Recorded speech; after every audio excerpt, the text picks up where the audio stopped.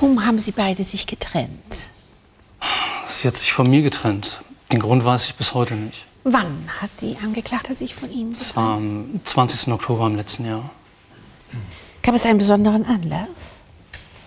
Eigentlich nicht wirklich. Sie kam abends nach Hause und stürzte halt sofort in ihr Arbeitszimmer. Ich bin natürlich hinterhergerannt, weil ich wissen wollte, was los ist. Also sie hat die Tür abgeschlossen. Ich stand davor und ähm, wollte rein, aber sie ließ mich nicht rein. Sie hat die ganze Nacht geweint. Und ich stand da und konnte nichts machen. Irgendwann mitten in der Nacht schob sie einen Zettel durch die Tür unten durch. Und da drauf stand, dass sie sich von mir trennen will. Und dass ich nicht um sie kämpfen soll. Ich war natürlich völlig fertig. Am nächsten Tag stand sie mit ihren Koffern in der Tür und ist einfach gegangen. Und das ist das letzte Mal, dass ich sie gesehen habe. Bis natürlich auf die Nacht, wo, wir, äh, wo sie bei mir vor der Haustür saß. Ich meine, ich habe natürlich versucht, sie irgendwie über Handy zu erreichen, aber sie hat ihr Handy abgestellt. Ihre, nicht mal ihre Freundin wusste, wo sie ist. Und bei Verwandten haben Sie da mal versucht nachzuhören? Nein, das, das, das geht nicht. Also ihre Mutter ist gestorben, als sie acht war bei einem Autounfall. Und ihr Vater sitzt in einem Pflegeheim. Er hatte 2006 einen ziemlich schlimmen Schlaganfall. Und ich hatte keine Chance, an irgendjemanden ranzukommen, der sie kennt. Wie war die Angeklagte früher? Sie war eine super frohe Natur. Sie war total positiv. Sie hat Leute gerne zum Lachen gebracht. Sie war sehr enthusiastisch, was ihren Job anging. Und das ist auch das, was ich immer an ihr beneidet habe, dass sie so, so enthusiastisch und, und so, so klasse an ihrem Job gehangen hat und, und da auch so viel reingesteckt hat. Deswegen verstehe ich es auch nicht, warum sie ihren Traum einfach aufgegeben hat, von heute auf morgen. Ich kann es echt nicht nachvollziehen. Ich wollte einfach meine Ruhe haben. Ey, Mann, Nathalie, bitte. Ey, du kannst nicht einfach in meinem Leben auftauchen nach mehreren Monaten, dann bist du da, dann bist du wieder weg und dann. Ich meine, das ist einfach keine Art, sorry. Das funktioniert so nicht. Die äh, Angeklagte hat uns vorhin erzählt, dass sie sich wegen, dass sie wegen der Trennung von Ihnen danach ihre Stelle im Krankenhaus aufgegeben habe, wegen Konzentrationsstörungen, meine ich mich zu erinnern. Das kann ja jetzt zeitlich überhaupt nicht stimmen. Nee, nee, nee, nee, das stimmt nicht. Sie hat erst gekündigt und dann hat sie sich von mir getrennt. Ah. Also ich habe mich natürlich noch die ganze Zeit gefragt, ob irgendwas vorgefallen ist auf der Arbeit, ob da irgendwas war, aber ich weiß es halt auch nicht. Ich wollte einfach nur meine Ruhe haben. Mein Gott, versteh das doch mal bitte. Noch Fragen an den Zeugen Holsten? Nein, danke. Dann möchte ich mit der Freundin der Angeklagten fortsetzen. Julia Winterbach, bitte nehmen Sie bitte an der Seite Platz, die auch eine Arbeitskollegin im weiteren Sinne von Ihnen war. Frau Winterbach, bitte nehmen Sie doch hier vorne Platz. Frau Winterbach, dass man bei Gericht die Wahrheit sagen muss, wissen Sie. Und wenn man es nicht tut, macht man sich strafbar. Ihr Vorname ist Julia, Sie sind 33 Jahre alt und wohnen in Frankfurt am Main. Was sind Sie vom Beruf? Ich bin OP-Schwester. Mit der Angeklagten sind Sie weder verwandt noch verschwägert. Ja, ist richtig.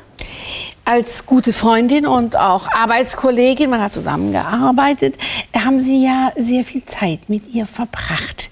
Die Angeklagte soll im Oktober 2010 sich plötzlich sehr verändert haben. Hat sie das? Ja, und das ist mir bis heute ein Rätsel. In Nathalies Leben lief gerade alles so gut. Sie war auf dem besten Weg, eine erfolgreiche Chirurgin zu werden.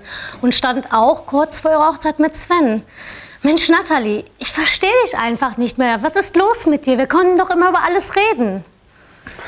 Ich habe einfach ein bisschen Abstand gebraucht. Ist das so abwegig? Ja, ist es. Und warum bist du plötzlich bei Sven aufgetaucht und danach wieder abgetaucht?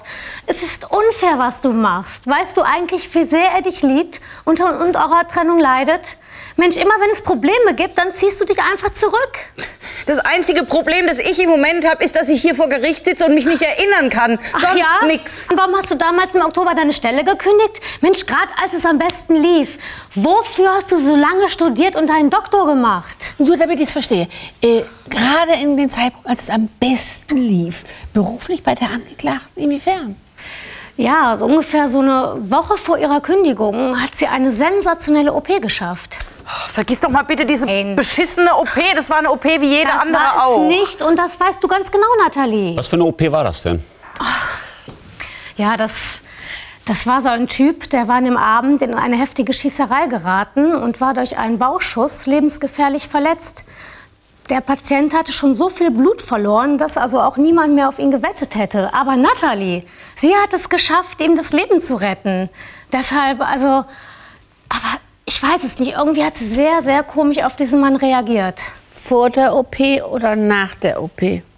Ja, es ging an dem Tag drunter und drüber. Deshalb war es sogar schon da, als man ihm seine Jacke und seinen Pullover ausgezogen hat. In dem Moment kam auch Natalie vorbei und hat sich furchtbar erschrocken.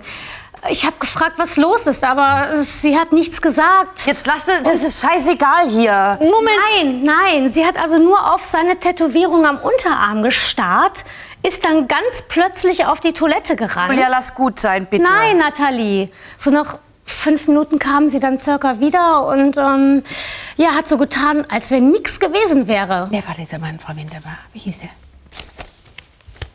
Julia, jetzt hör auf, es ist wirklich egal. Wenn es so egal ist, dann kann ich es ja erzählen. Ich kann Ihnen nicht sagen, wer das war. Er hatte damals keine Papiere bei sich. Aber Sie sagten doch, er hatte eine Tätowierung auf dem Unterarm. Vielleicht könnte man es darüber rauskriegen. Was für eine Tätowierung war das denn? Es haben ja nun viele Tätowierungen. Da stand mit großen Buchstaben Fuck. F-U-C-K. Ja, richtig. Sehr geschmackvoll. Frau Dr. Juppich, ganz direkt. Wie heißt dieser Mann? Und woher kannten Sie ihn? Schauen Sie, Frau Dr. Jobbik, ich weiß jetzt nicht im Moment, woher auch, ob er irgendwas mit dem Tod von Mike Fortmeier zu tun hat. Aber mit Ihren Veränderungen definitiv. Und das ist eine Sache, die mit Sicherheit auch den äh, Sachverständigen interessiert, denn es geht ja hier auch um Paragraph 2021. Jedenfalls ist hochseltsam, wie Sie auf diesen Mann vor der Operation reagiert haben, bis hin zur Aufgabe der Arbeitsstelle.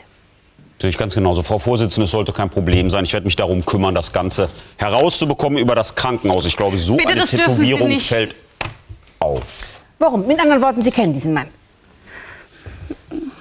Also das, was Sie wissen, müssen Sie schon aktivieren und ihn hier bringen, sonst kann Ihnen kein Mensch helfen.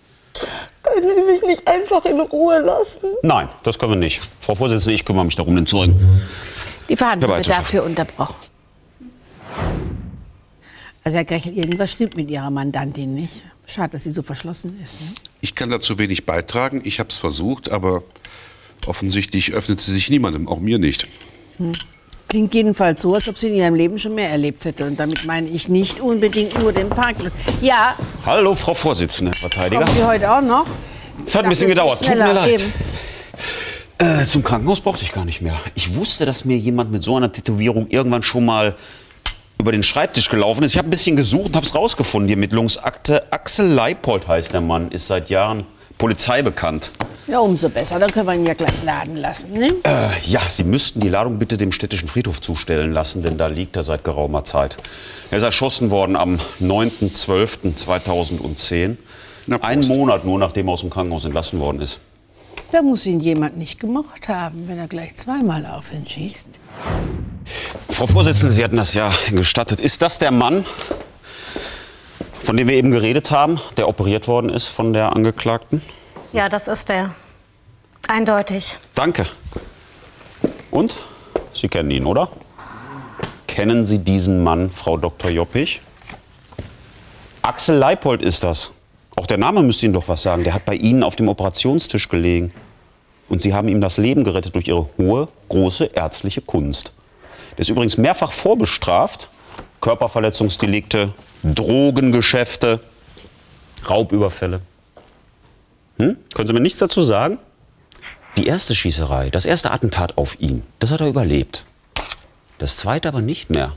Nachdem er aus dem Krankenhaus entlassen worden ist, ist ein weiteres Mal auf ihn geschossen worden. Am 9. Dezember 2010. Und das hat er nicht mehr überlebt. Übrigens, unter einer Eisenbahnbrücke, Frau Vorsitzende, hat das Ganze stattgefunden. Das ist ein beliebter Treffpunkt für Drogendealer. Täter sind noch nicht ermittelt worden. Das kann nicht sein. Wissen Sie, ich finde es nur so merkwürdig, Frau Dr. Joppich, dass Sie so merkwürdig auf diesen Mann reagieren, als er da bei Ihnen auf dem Operationstisch liegt. Und dass dieser Mann, nachdem er dann aus dem Krankenhaus entlassen wird, dass er danach erschossen wird. Das finde ich alles sehr merkwürdig. Und dass Ihr Leben völlig aus der Bahn geraten ist, auch nachdem Sie ihn das erste Mal gesehen haben. Das kann doch kein Zufall sein, oder? Der Mann ist mit Sicherheit, da können wir, glaube ich, Einigkeit erzielen, nicht per Zufall erschossen worden. Zumal man es erst versucht hat und erst beim zweiten Durchgang funktioniert hat. Aber sie hat ihn nicht erschossen und sie hat auch mit der Tat nichts zu tun.